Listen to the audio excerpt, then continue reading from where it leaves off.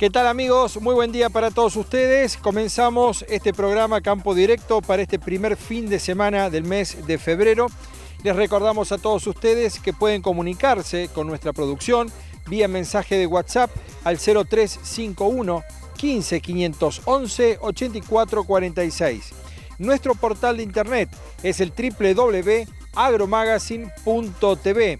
Estamos en las redes sociales, en Facebook, en Twitter y en Instagram. Y pueden suscribirse a nuestro canal de YouTube para ver todos los informes que emitimos en nuestro programa Campo Directo.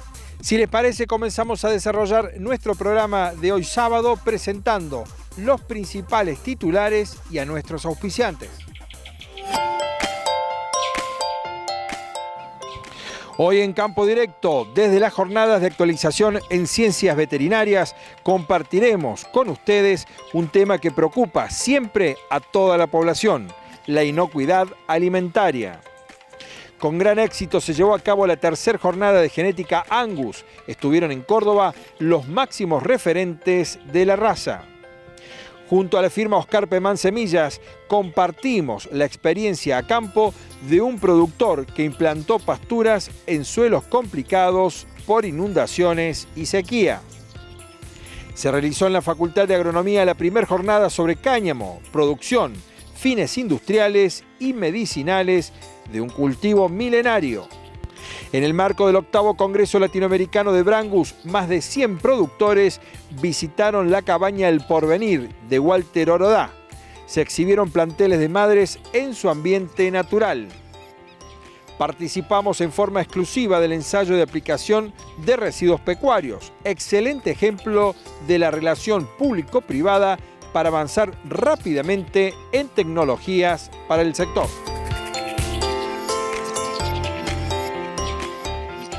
Auspician este programa INTA Centro Regional Córdoba. Somos el Colegio Médico Veterinario de la provincia de Córdoba y vamos por más. Facultad de Ciencias Agropecuarias, Universidad Nacional de Córdoba. Instituto de Promoción de la Carne Vacuna Argentina. Colegio de Ingenieros Agrónomos de la provincia de Córdoba. Bolsa de Cereales de Córdoba trabajando en pos del desarrollo y crecimiento del sector agroindustrial y su cadena de valor. Gobierno de la provincia de Córdoba. Entre todos. Muy bien, queridos amigos, luego de la presentación de los titulares y nuestros auspiciantes, comenzamos a desarrollar los temas previstos para este sábado. Nos ubicamos en la localidad de Villa Yardino, en el Valle de Punilla, porque allí el Colegio Médico Veterinario de la provincia de Córdoba, en el año 2018, organizó las jornadas de actualización en ciencias veterinarias. Y uno de los temas que vamos a compartir con ustedes es un tema que preocupa siempre a toda la población la inocuidad alimentaria. Este es el informe.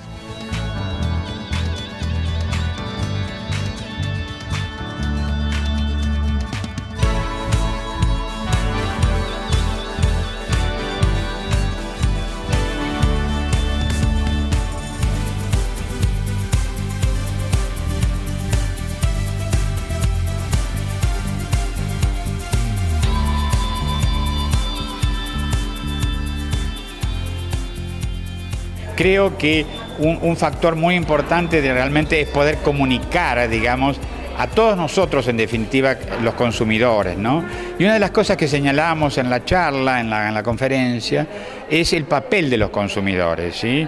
Digamos, en el tema de inocuidad, es decir, eh, eh, aquella condición que el alimento no te cause daño, como lo define la Organización Mundial de la Salud, eh, ahí hay tres actores que son fundamentales los, productores, la industria, los servicios, es decir, quienes, quienes, hacen, quienes hacen los alimentos, quienes los comercializan, los gobiernos, con sus normas, con sus regulaciones, con sus sistemas de control, claro, pero también los consumidores. El consumidor tiene un rol muy importante en cómo maneja, en cómo selecciona, en cómo mantiene la cadena de frío, por ejemplo. Entonces, creemos que ese es un, un mensaje importante. Y el otro mensaje es que los microorganismos están en el mundo, en la Tierra, mucho antes que el ser humano. Entonces están mucho mejor adaptados y se, como crecen muy rápido, tienen mecanismos de adaptarse y de cambiar, de, entre ellos intercambiar genes. Entonces hay que estar muy atento, no para estar asustado, porque el pánico frena, pero sí, digamos, no subestimar a los microorganismos. Entonces, eh, ser muy cuidadosos en, cómo educamos a nuestros hijos en la elección de los alimentos, no solamente por los aspectos nutricionales, por los vinculados al sobrepeso y demás, pero sí también en nuestra área, digamos, en nuestra especialidad, que es la inocuidad, digamos. Es decir, el mensaje es no asustar, pero sí educar al consumidor. En, los productos cárnicos finamente picados, ¿qué quiero decir? Chorizo, longaniza parrillera, eh, patis eh, hamburguesas, digamos, la cocción tiene que ser completa. ¿Qué significa completa? Que si yo lo presiono, el líquido que salga sea totalmente translúcido, transparente. ¿Por qué? Eso me indica que si superaron los 70 grados, el color translúcido significa que la proteína se degradó, pero ¿qué significa en definitiva eso? Que mató a los microorganismos que están presentes. Es decir, ¿cuál es el mensaje acá? Complementario. El churrasco puede ser jugoso, porque la contaminación es externa. Vuelta y vuelta, yo lo mato al microorganismo, el consumidor, yo, yo, yo el, el asador, digamos. Pero el chorizo, que tiene digamos, producto picado, que la contaminación eventualmente externa pudo ser interna, ahí tiene que ser completamente cocido. ¿sí? Ese es un mensaje importante. El otro mensaje, vos lo mencionaste, es el mantenimiento de la cadena de frío. Y el otro es ser cuidadoso con eso que los microbiólogos denominan la contaminación cruzada, es decir, aquello que está cocinado, cuidarlo, cuidarlo y consumirlo rápido, digamos. Eh, estoy totalmente de acuerdo que el veterinario ocupa un rol muy importante y que tiene que ser el nexo con los colegios, con la comunidad. Eh, y un poco lo que transmití sobre el cierre tiene que ver con esta mirada nueva de la cultura en inocuidad. Tiene que ser algo cultural la inocuidad. Eh, y me quedo pensando que quizás nuestros abuelos con las limitaciones que había de información tenían pautas de higiene muy fuertes eh, o la forma de, sabían que había que cocinar mucho y realmente, eh, o acidificaban mucho, las conservas de esa época eran bien ácidas eh, y mucha de esa higiene se ha perdido, hay que volver a restablecer este hábito del lavado de manos y trabajar en la cultura, en la cultura de la gente para incorporar como un valor que hace bien a la familia o al productor o al que tiene el negocio gastronómico, que la inocuidad, la gente no la puede ver porque no se ven las bacterias, no se ve la contaminación, no se huele y no hay que probar si uno tiene dudas, pero entonces la gente la da por sentada y pone su confianza. Entonces, eh, el que elabora alimentos tiene que saber que es un, es un valor para su empresa y que las decisiones tienen que estar priorizando la inocuidad empezar a mirar con otros ojos donde hay contaminación cruzada, donde hay comida fuera de la heladera, eso no hay que comprarlo. Ni siquiera una fruta cortada por la mitad a temperatura ambiente, no sabemos cuánto hace que está a temperatura ambiente. Entonces, eso sí lo vemos. Hay que empezar a mirar con ojos diferentes lo que vemos todos los días. Pescar donde pudo haber contaminación cruzada o si la veo, y eso no comprarlo. Eh, y a su vez en casa también, chequear hábitos que tengo, uy, esto lo puedo hacer diferente. Primero lavo la verdura y la pico y después voy con la carne y empezar a cambiar esos hábitos. Doctora, es muy frecuente que en una familia, cuando alguien, algún integrante tiene una gastroenteritis, eh, y, nos ponemos a pensar qué comimos, qué comimos recién. ¿Hasta, hasta cuántas horas antes podemos pensar este, si hemos comido algún este, alimento en mal estado? Buenísima la pregunta porque además la gente especula. Esto lo comimos todos, se enfermaron dos y dos no. Entonces no puede ser, sí puede ser. Eh, no siempre todos se enferman. Eh, en general los médicos dicen se enferma el que puede, no el que quiere. Entonces a veces comen todos y se enferman algunos y esto es, esto es lo común. Entonces la, cantidad de horas puede ser bastante, la gente le echa la culpa a lo último, pero puede ser 24, 48 e incluso según qué peligro sea puede ser más. Entonces, eh, hay que hacer, por eso es muy importante también mejorar el sistema de vigilancia que es el que denunciar cuando uno se siente mal, ir al médico, consultar, no automedicarse, no tomar porque sí carbón, no, no, no, no hacer nada por, la, por cuenta de uno, ir al médico y que se haga esta cadena, que el médico denuncie, que el médico informe, que el médico advierta. Si uno le pasa algo y denuncia, se investiga y se sabe y se puede limitar el problema en vez de que siga yendo gente al lugar y comiendo y enfermándose. Entonces, esto también es parte de la cultura, empezar a, informar para que el, el problema se limite.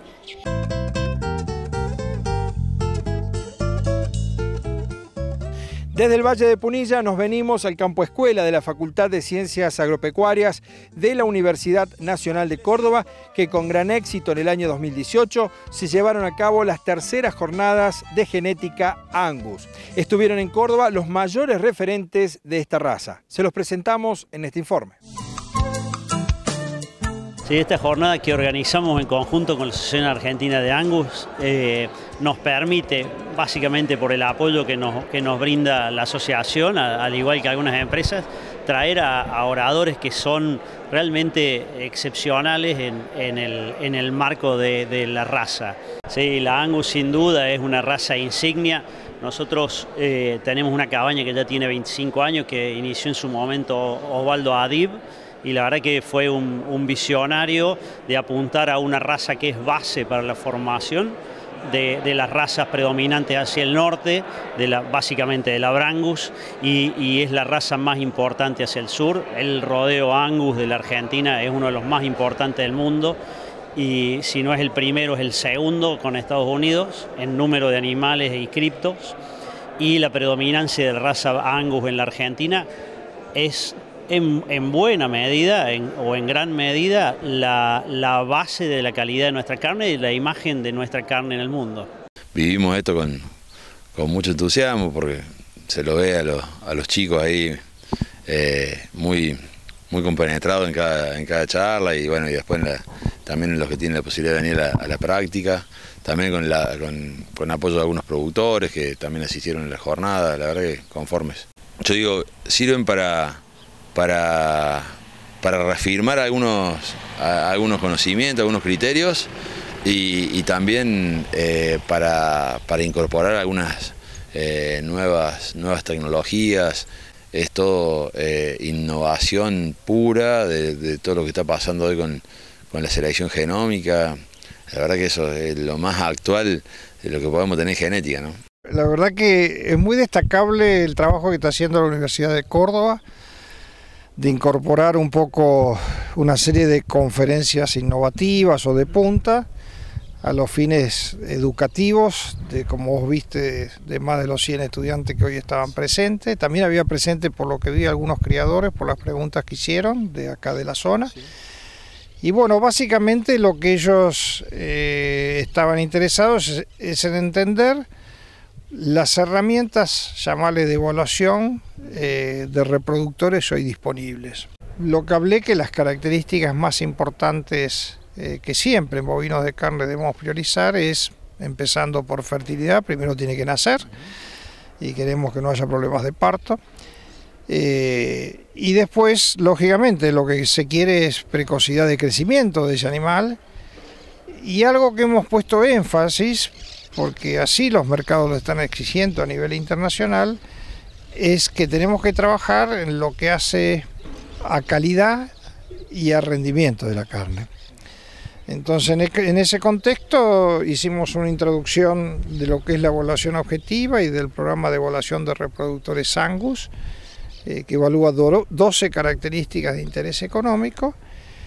Y, y bueno, cómo esas características y esos DEP deben usarse para producir cambios direccionales a los fines de maximizar el progreso genético de los distintos, eh, cabañas, eh, que lo que ellos venden es genética. Así que es importante usar todas estas herramientas, tanto fenotípicas como objetivas, a los fines de que su programa eh, de mejoramiento realmente funcione. Nosotros Empezamos con 10.000 animales y ahora tenemos 534.000 animales. Es decir, la, manera, la mayor base de datos eh, que hay eh, de la raza Angus en toda Latinoamérica. Entonces realmente muy satisfecho con el programa y cómo ha crecido y la respuesta que hemos tenido de los criadores. La idea de hoy fue hablarle a, los chicos y a los productores eh, todo lo que está disponible a través de la genética, porque si bien eh, muchas veces se habla de genética, me parece que muchas veces no se entiende bien eh, a qué se refiere eso y, todas las herramientas que hay arriba de la mesa cuando un productor va a tomar una decisión, que en definitiva están apuntadas a que él gane más rentabilidad y más dinero. Y, hay mucha gente que ya está inseminando muchas veces, eh, que obviamente que el eje de la charla se basa en, todas las alternativas que hay cuando uno va a inseminar, eh, pero lo que no entiende mucha gente que lo hace, inclusive que ya está inseminando, es que no entiende cuál es el alcance de la técnica y hacia dónde va. La, idea de todo esto es que uno, si va a inseminar, hay un montón de beneficios que la gente te nombra, como el hecho de poder concentrar más las apariciones, como el hecho de poder disminuir los problemas de parto, disminuir enfermedades venéreas, pero todo eso son migajas de la técnica. Eje central por el cual uno tiene que decir yo voy a inseminar es para utilizar toros superiores probados que sean los mejores del mundo para los que uno quiere producir. Entonces, que al momento de uno decir voy a, voy a, inseminar todo mi rodeo, esté usando el Cristiano Ronaldo, el Messi o el mejor jugador que hay dentro de, la raza. ¿Y qué está al alcance de todo esto ya?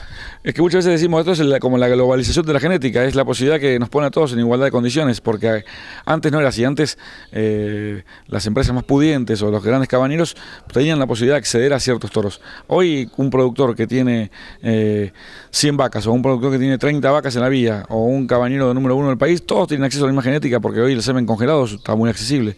Entonces todos tenemos las mismas herramientas.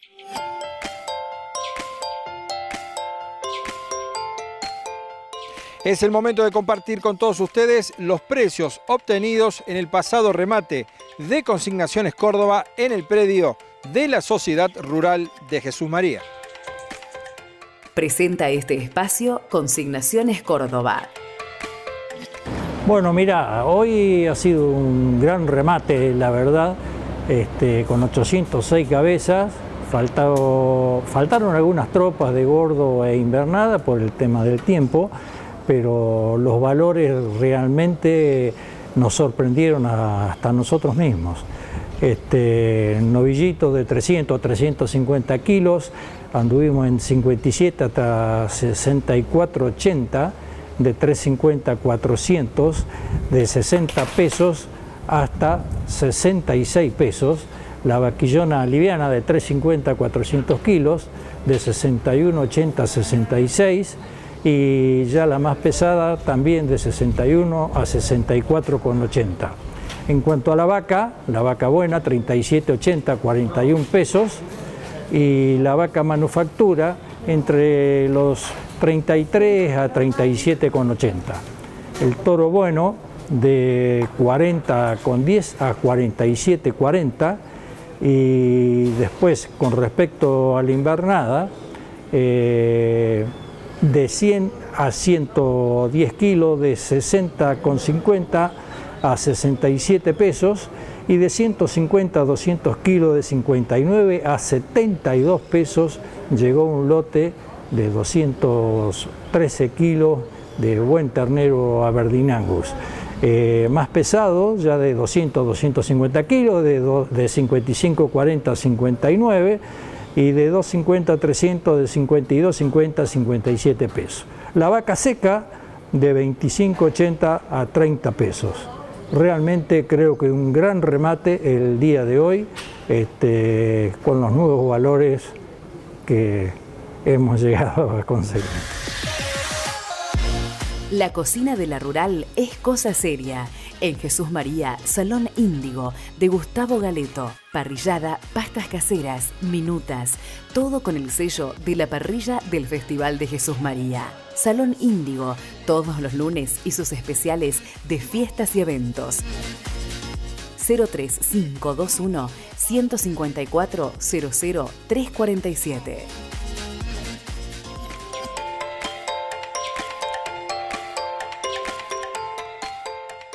Los invitamos a compartir la primer pausa en campo directo. Ya volvemos con estos temas. Junto a la firma Oscar Pemán Semillas, compartimos la experiencia a campo de un productor que implantó pasturas en suelos complicados por inundaciones y sequía. Se realizó en la Facultad de Agronomía la primera jornada sobre cáñamo, producción, fines industriales y medicinales de un cultivo milenario. En el marco del octavo Congreso Latinoamericano de Brangus, más de 100 productores visitaron la cabaña El Porvenir de Walter Orodá. Se exhibieron planteles de madres en su ambiente natural. Participamos en forma exclusiva del ensayo de aplicación de residuos pecuarios, excelente ejemplo de la relación público-privada para avanzar rápidamente en tecnologías para el sector.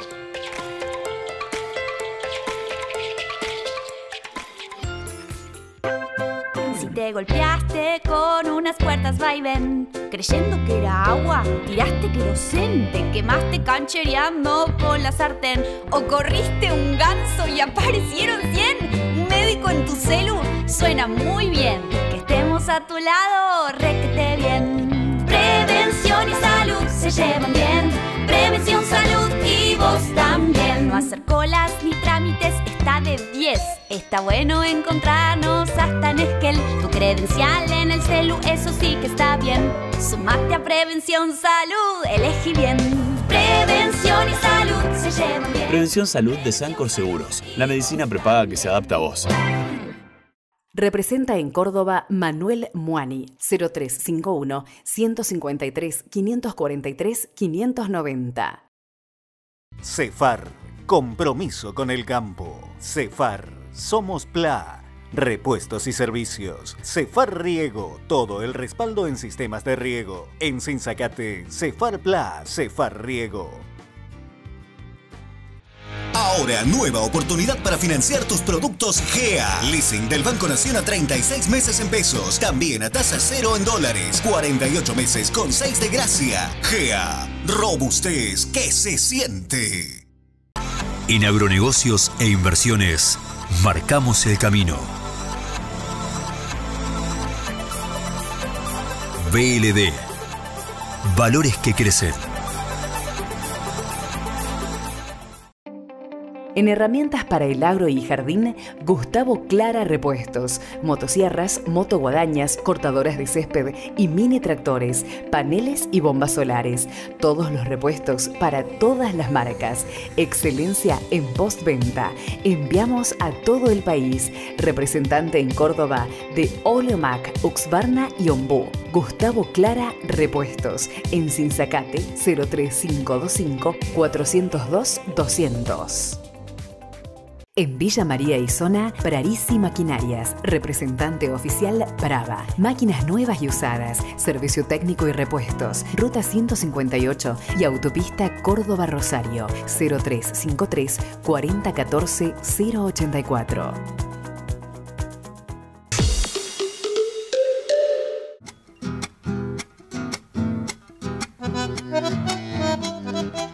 Promediamos nuestro programa Campo Directo. A partir de este momento comenzamos a desarrollar el segundo bloque.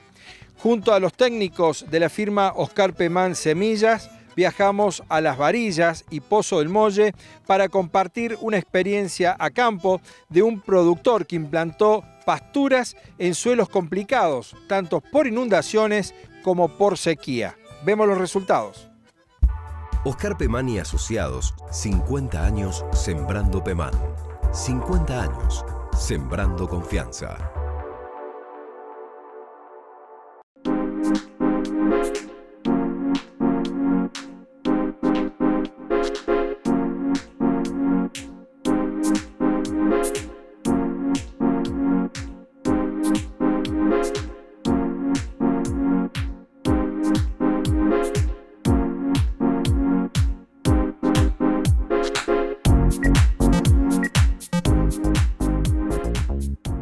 Origen es una empresa familiar. Mi papá siempre se dedicó a la agricultura y a la ganadería. Eh, la continuamos mi hermano y yo. En este momento estamos los dos a cargo de la producción. El sistema bueno, es ganadero y agrícola. Tratamos de integrarlos mirándolos a los dos juntos y que sea un sinergismo, no un antagonismo. Eh, comenzamos principalmente siempre con un engorde corral, luego le fuimos analizando campos agrícolas, eh, posteriormente se dio la oportunidad del campo de cría acá en las varillas y bueno, lo volvimos a desarrollar. En la actualidad tenemos este sistema de cría en, en las varillas y en la zona de Sacanta, lo que es el engorde y los campos agrícolas. Buscamos integraciones comerciales, tanto a la hora de la venta de la carne, como productivas, como es la, la hotelería en el caso del Fildo, digamos, estamos abiertos a, a diferentes tipos de integración con empresas. Bueno, y un poco el objetivo es es lograr que, los sistemas eh, sean estables en el tiempo, ¿no es cierto? ¿No? Que, bueno, que, más allá de los vaivenes económicos o climáticos, eh, poder tener una mirada un poquito más, más lejos y tratar de, de que bueno, los sistemas se perpetúen en el tiempo para lograr algo un poco más estable. El campo se llama Rumaquela, es un campo arrendado, como el 95% de la superficie que trabajamos. Acá bueno, se lleva a cabo la cría en un planteo de, vientres con servicio estacionado. Eh, generalmente lo que es el servicio se da entre octubre, noviembre y diciembre. La idea es tener las variables de, de, recriar en los momentos que mayor oferta forrajera tengamos. Los terneros que son criados acá van con destino a engorde. Obviamente el objetivo también es que el kilo producido de ese ternero eh, aquí dentro de este establecimiento sea un valor no, por lo menos entre un 20 y un 30% inferior al que lo que vale en el mercado. Por eso por ahí también la idea es de tener un ternero cabeza de parición de los meses de agosto y septiembre y que ese ternero en diciembre, enero eh, entre al fildo con 170, 180 kilos. Se desarrollan pasturas principalmente perennes, tenemos en los mejores ambientes alfalfa para producir heno y generar reservas. En los ambientes más frágiles tenemos pasturas eh, perennes eh, megatérmicas a base de grama rodes y en lo que son los ambientes de media calidad están las pasturas templadas a base de agropiro, festuca y lotus. Las vacas entran a, parir en, la primavera adelantada, fines de agosto y septiembre. Eh, y bueno, la idea es la pastura templada que produce por ahí en primavera adelantada, empezar a dividir el rodeo en cabeza y cola, la cabeza se, cierra en ensenadas donde van pariendo y se van suplementando con rollos y un pastoreo rotativo en las pasturas templadas. Y eh, una vez que ingresan a servicios y eh, la idea es, si ya la grama está en acción, es pastorear grama rodes. La reserva de rollo nos permite por ahí tener la estabilidad en cuanto a la reserva, que el requerimiento de la vaca en ese periodo. Sin gente esto no se logra. Eh, son campos arrendados y donde el recurso humano es el principal. Estamos nosotros y bueno, tenemos un peón encargado también en, todo lo que es pastoreo rotativo, bueno, capacitándolo y apoyándolo en lo que uno puede, en lo, cual eh, los recursos que tengamos a mano y bueno, la, la motivación es permanente, tiene que ser así. Para que los sistemas puedan andar, la gente tiene que estar motivada. En el transcurrir de un año pasamos del campo totalmente inundado a, una sequía de tres meses eh, con muy poca precipitación. Son sistemas muy frágiles en donde eh, están expuestos a una sequía o una inundación, te lleva puesto el sistema, es así. La estabilidad forrajera en las perennes yo creo que se determina básicamente por eso. Son pasturas que tienen resistencia a sequía y resistencia a anegamiento. Dos cuestiones, variables climáticas por así decirlo, o sea que que las pasturas pueden sobrellevar esas situaciones.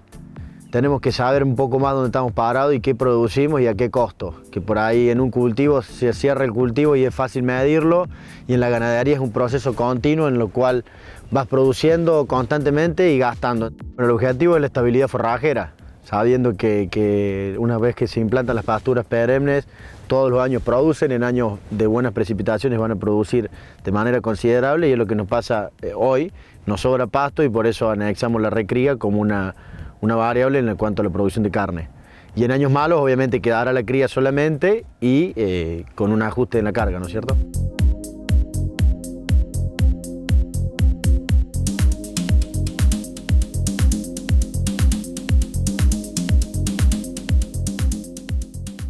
Asegurar la implantación rápida en un cultivo te asegura oferta de pasto en el mediano plazo y en el corto también y bueno, aseguras que el gasto que estás haciendo lo puedas amortizar en un, par de años y en el primero ya tengas producción y lo puedas utilizar.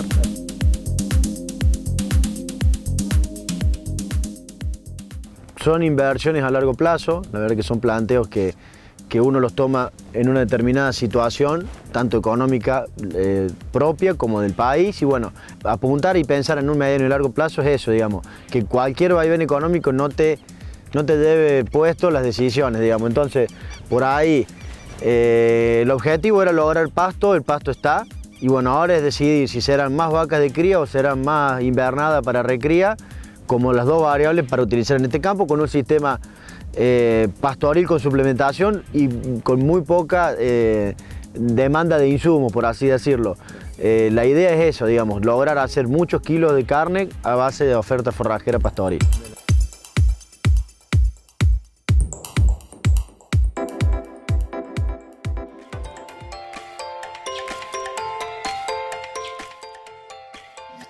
Nos vamos a una nueva pausa, ya volvemos con estos temas. Se realizó en la Facultad de Agronomía la primera jornada sobre cáñamo, producción, fines industriales y medicinales de un cultivo milenario. En el marco del octavo Congreso Latinoamericano de Brangus, más de 100 productores visitaron la cabaña El Porvenir de Walter Orodá. Se exhibieron planteles de madres en su ambiente natural. Participamos en forma exclusiva del ensayo de aplicación de residuos pecuarios, excelente ejemplo de la relación público-privada para avanzar rápidamente en tecnologías para el sector.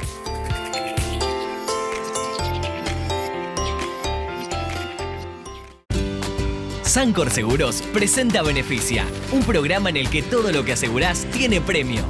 Compras, viajes, descuentos y experiencias únicas. Ingresa a www.sancorseguros.com.ar y empezá a disfrutar. Con Sancor Seguros te pasan cosas buenas todos los días. Representa en Córdoba Manuel Muani, 0351 153 543 590.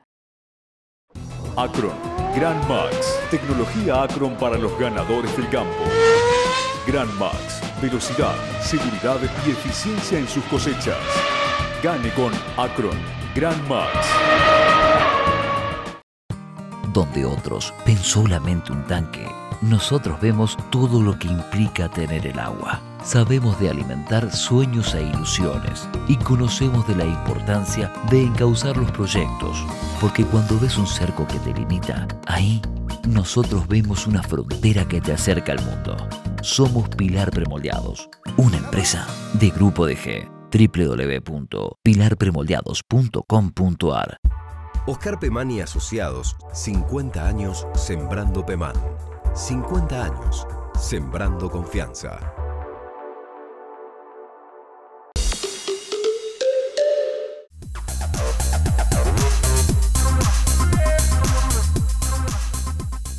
Comenzamos un nuevo segmento de Campo Directo para este primer fin de semana del mes de febrero. En la Facultad de Ciencias Agropecuarias de la Universidad Nacional de Córdoba se realizaron las primeras jornadas sobre el cáñamo, producción, fines industriales y medicinales de un cultivo milenario. Este es el informe.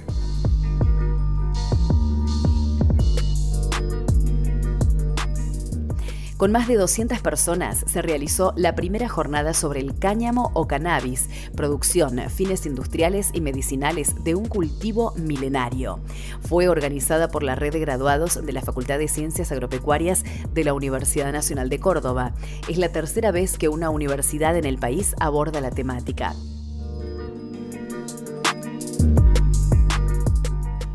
Bueno, el cáñamo es una planta muy versátil.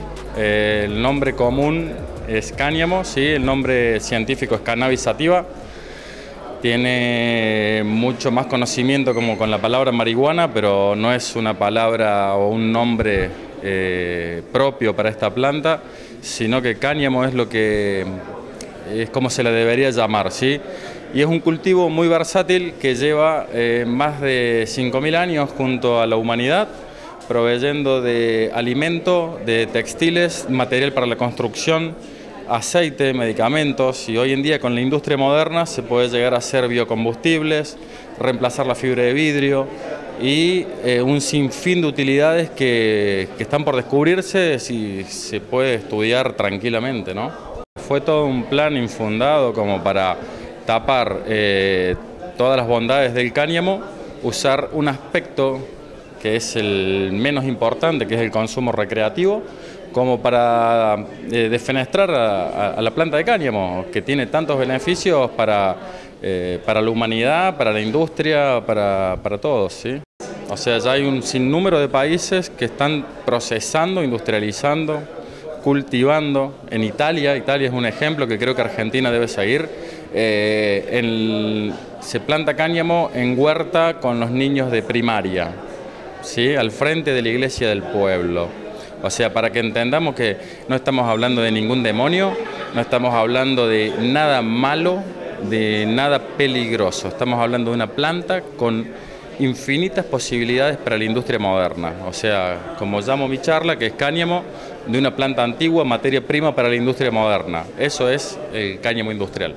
Bueno, hoy día les presenté un poco lo que estamos haciendo en el laboratorio. Esto está directamente relacionado con los efectos de los cannabinoides presentes en, la planta de cannabis, de, marihuana, sobre el sistema nervioso central, poniendo énfasis en, la ingesta alimenticia y en el balance energético.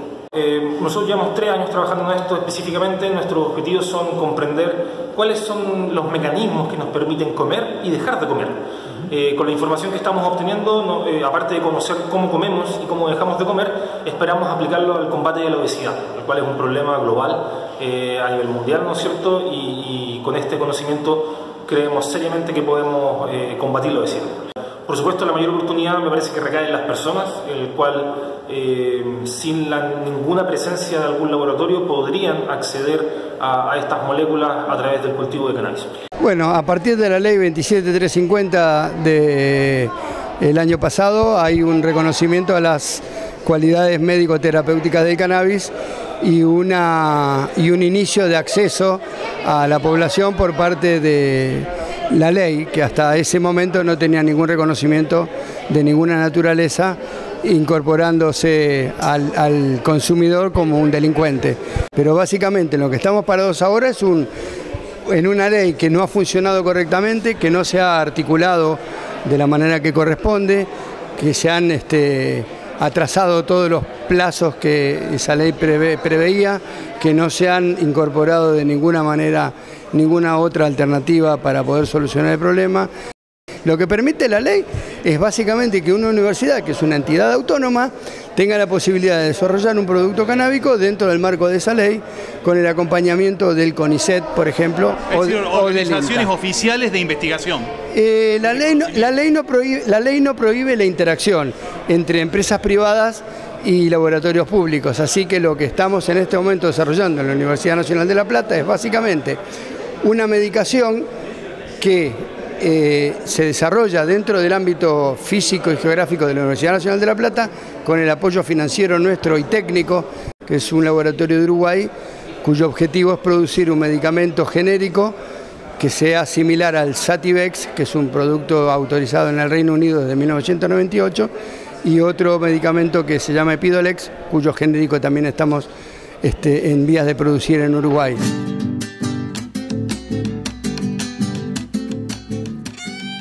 Nuevamente nos ubicamos en el norte de Córdoba porque en el marco del octavo Congreso Latinoamericano de Brangus, más de 100 productores de toda Latinoamérica visitaron la cabaña El Porvenir de la familia Orodá. Se exhibieron importantes planteles de madres en su ambiente natural. Este es el informe. Auspicia. Gobierno de la provincia de Córdoba. Entre todos.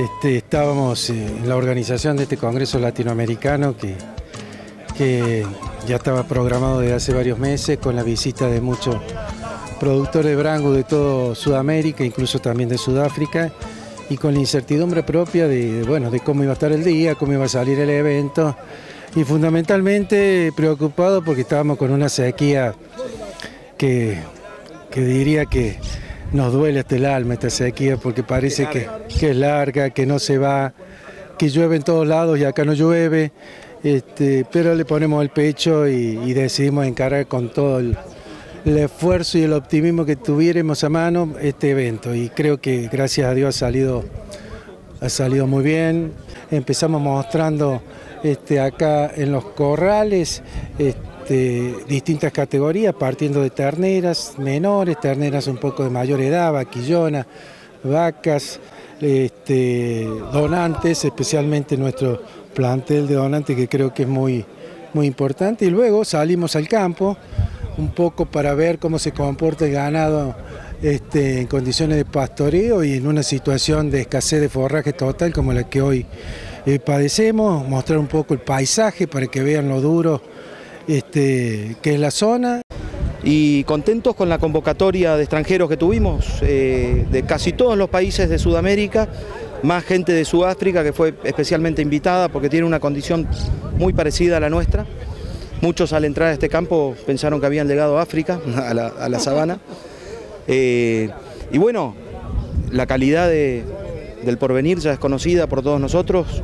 Eh, igual es lindo ver en su propia casa pero estos ambientes más hostiles como, como el norte de Córdoba, el, NEA o el NOA del país, eh, las dificultades del campo son la mejor herramienta para seleccionar lo que realmente funciona.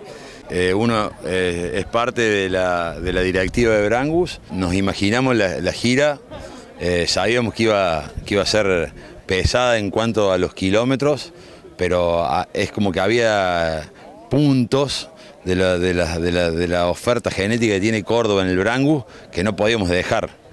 Estamos cumpliendo con alguna recomendación estricta de nuestro, de nuestro ministerio, que sabes que nuestro ministro es Sergio Buso, en acompañarlos, en servirles de guía, en razonablemente explicarles cuáles son las realidades productivas de nuestra provincia.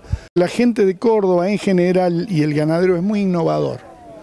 Y sobre todo en el norte de Córdoba, mira lo que te digo, eh, no soy imparcial, soy norteño, pero sobre todo en el norte de Córdoba hay gente muy innovadora con respecto a eso. El ejemplo es Walter Oroa, que en este campo, que no son campos fáciles, que son los campos promedios de este norte, ha logrado avanzar significativamente desde lo, desde lo racial obviamente, desde lo genético y desde lo productivo.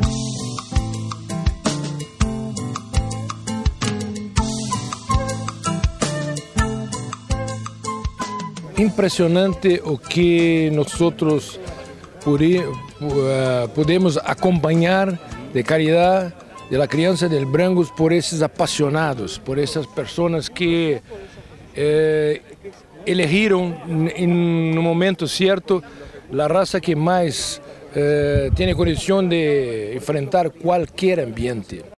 Hoy, acá en Porvenir, ejemplo, eh? es un gran ejemplo de lo que estoy hablando, porque nosotros podemos casi que no creer lo que estamos mirando, porque es un rebaño brancos uh, cualificado en un ambiente quizá para mí lo más hostil que, que ya tengo mirado por ahí. Entonces eso prueba que nosotros todos de, eh, cuando elegimos Bramos, Bramos elegimos muy bien. Bueno, buenas tardes para nosotros como, como delegación paraguaya, realmente es un honor estar aquí presente en el Al Brangus, en este caso aquí en la provincia de Córdoba, eh, viendo también un poco el material y la producción de las cabañas más afamadas, digamos, aquí de la Argentina, de, esta raza que, nos mueve a todos. La plasticidad de esta raza, sin perder fertilidad, productividad, realmente es, eh, es una raza muy noble como la definimos nosotros en Paraguay, que también la tenemos de punta a punta a lo largo y ancho del país. Realmente loable lo que hacen los productores aquí en la zona, por lo poco que pude apreciar, realmente muy loable. Y, nada, tiene el apoyo de la raza que estamos criando con mucha pasión eh, en toda Latinoamérica. Y, bueno, eh, productivamente hablando no tiene, no tiene ningún reparo, digamos, perfecto. Bueno, Paraguay viene en un crecimiento progresivo, ascendente, muy importante creo yo, y no lo digo en forma personal, sino es el comentario también de, los pares eh, argentinos, que todos los años asisten a nuestras exposiciones y, fueron viendo la evolución del Brangus en Paraguay y realmente es, vertiginoso el, aumento tanto en volumen como en cantidad, realmente una herramienta de trabajo que en el Paraguay está, está muy bien posicionada. Los argentinos nos han tratado de maravilla, ha sido unos días fabulosos en, todas las cabañas que hemos ido y la calidad del ganado también muy, muy complacidos como lo que hemos visto. yo soy de Coahuila, el estado de Coahuila, al norte de México, pegado con Texas. Y es algo muy, muy similar. Cuando veníamos entrando aquí pensé, dije, bueno, vengo llegando a casa, ¿qué pasó? Es muy difícil ver una nube allá, ¿no? Sí, es bastante difícil este, el régimen que tenemos de precipitación este, es de 300 a 400 milímetros en el año, ¿verdad? Pero una lluvia muy errática. Hay problemas a veces de, que la distribución de la, de la precipitación es muy castigadora, muy épocas de, de sequía muy dura. El Brangus entró a México hace muchísimo tiempo, desde, desde que casi desde que se empezó allá en Texas. Lo que pasa es que eh, en la modalidad roja, que es en lo que nosotros nos especializamos, la asociación solamente tiene 15 años de estamos celebrando nuestro 15 aniversario.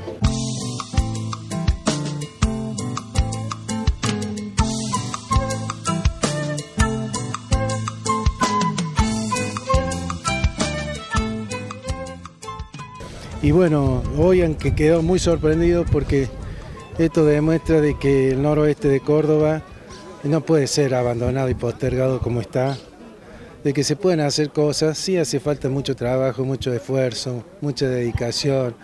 Eh, a veces eh, todas las actividades que emprendemos durante el año son antieconómicas, pero bueno, tenemos nuestro corazón puesto en la ganadería y si tuviéramos un poquito más de políticas de apoyo, este, comprensión de parte de nuestros gobernantes en cuanto a todo, a eliminar un poco todos los impedimentos que tenemos a diario y quizás tendríamos que haber traído algunos de ellos para que vea este, la opinión de productores de 10 países de Latinoamérica y productores de otras regiones del país que no entienden cómo hace el porvenir para producir en semejantes condiciones.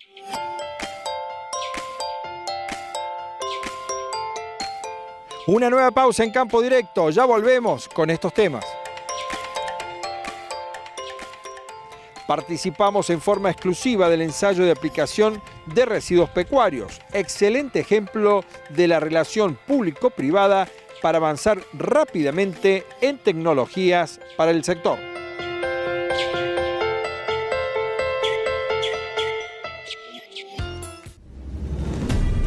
Prepárate para superar tus expectativas. Santi Plataformas, imperdible. Extendemos beneficios. Entrega tu cabezal usado y llévate un draper nuevo o reforma tu convencional a lona. Señor productor, un manejo responsable del ganado no solo mejora la productividad, sino la calidad de la carne. Por eso, para atender el bienestar animal, es necesario implementar buenas prácticas de manejo con instalaciones adecuadas y evitar el estrés del ganado durante el arreo, la carga y el transporte. Con la ganadería, ganamos todos. Instituto de Promoción de la Carne Vacuna Argentina. Avanzar.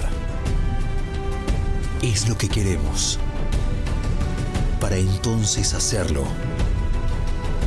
Nada nos detiene, ni aún lo inimaginable. Nueva pulverizadora MAP 3. PLA. Supera tus expectativas. PLA. Supera tus expectativas. Representante en Córdoba. Hermanos Lancioni Alem 955, Oliva.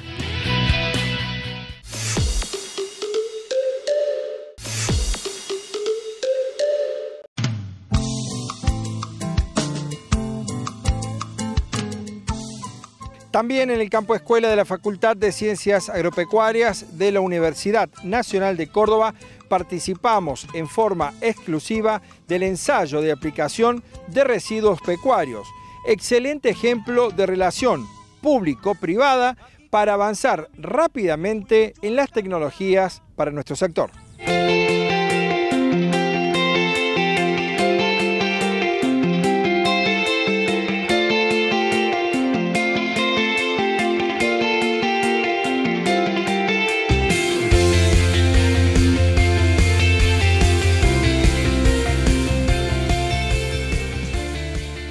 Bueno, básicamente estamos haciendo aplicación de enmienda orgánica en un lote de maíz que vuelve a ir a maíz con eh, residuos pecuarios del tambo escuela que fueron procesados a través de una metodología que es la tecnología de compostaje.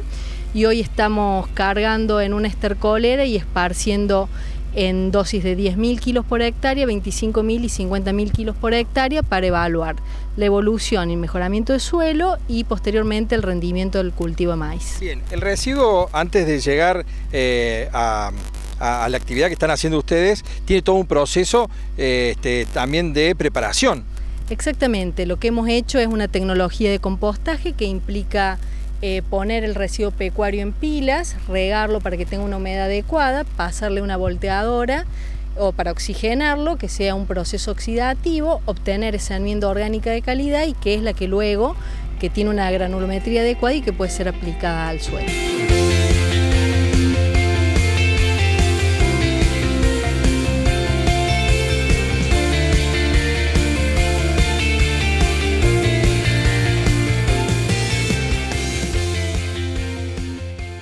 Bueno, la relación con Acron surge a partir de un proyecto que se llama Agregando Valor, que pide una contraparte de una empresa interesada en la resolución de un problema específico del agro, que en este caso es el tratamiento de los residuos, darle agregado de valor para transformarlos en una enmienda y Acron es la contraparte como empresa que además necesita de los datos que nosotros vamos a obtener para capacitar a sus técnicos y a los productores.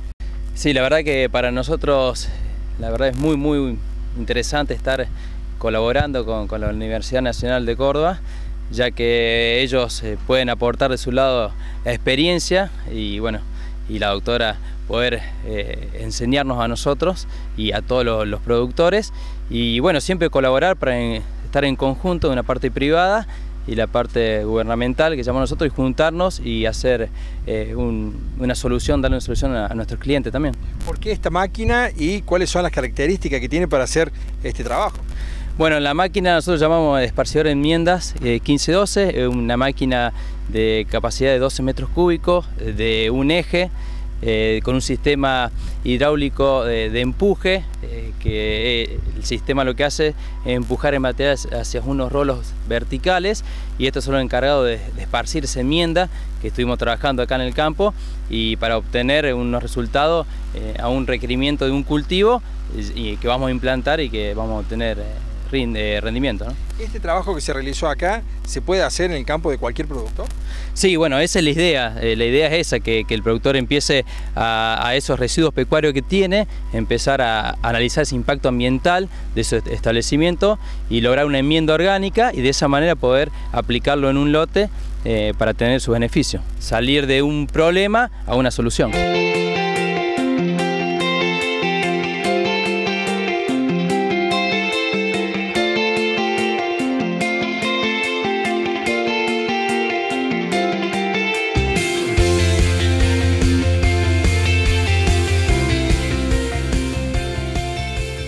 Este producto, este compost que, se obtiene, cuáles son las cualidades que tiene de fertilización. Bueno, básicamente son enmiendas orgánicas, tienen eh, el poder de mejorar físicamente la estructura de los suelos, básicamente pasa por ese lado, pero además aportan carbono, mejora materia orgánica, nitrógeno, fósforo, potasio y micronutrientes y favorecen a la retención de agua en el suelo. Todos esos efectos generan una mejora en el rendimiento de los cultivos. Y lo que vamos a tratar de demostrar es la diferencia de rendimiento entre un cultivo sin fertilizar y sin enmendar con un testigo y con esa diferencia de rendimiento tratar de explicar los beneficios de trabajar en ciclos cerrados. Eso se llama bioeconomía o economía ecológica, es darle un valor de pesos a lo que para nosotros hoy es un residuo que se puede transformar en un recurso.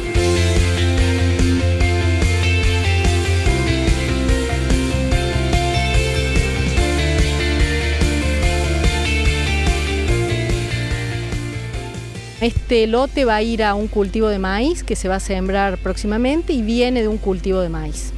Lo que vamos a ver es la diferencia entre el testigo y las tres dosis de aplicación que son 5, 25 y 50 toneladas para ver cuál es la diferencia en rendimiento en el cultivo. Y vamos a medir otras variables de rendimiento además del peso de grano como alto de plantas, número de hojas, etc lo vamos a ir viendo durante, durante el ciclo de cultivo, vamos a ir haciendo muestreos de suelo, viendo evolución de nutrientes, disponibilidad de nutrientes y a cosecha vamos a ver rendimiento. Gracias a ustedes y gracias a la Universidad Nacional de Córdoba por poder eh, estar acá y ser parte de este proyecto.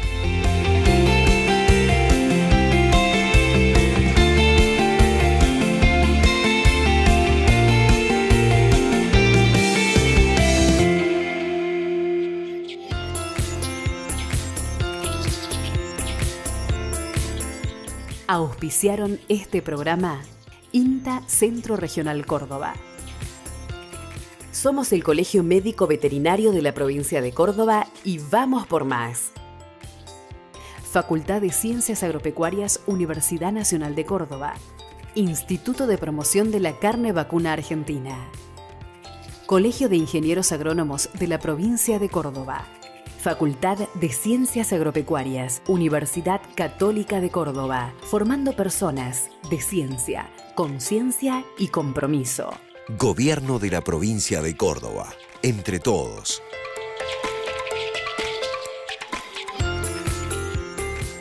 Muy bien, y se han cumplido estos 60 minutos de información del ámbito rural. Queremos agradecer a todos ustedes por la compañía, sábado tras sábados, aquí por la pantalla de Telefe Córdoba.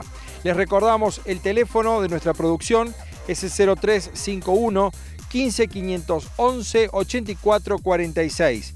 Nuestro portal de internet www.agromagazine.tv.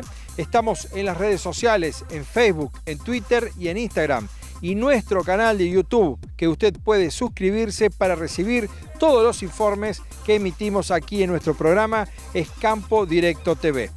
Muchísimas gracias, nos reencontramos el próximo sábado a partir de las 11 de la mañana por este canal.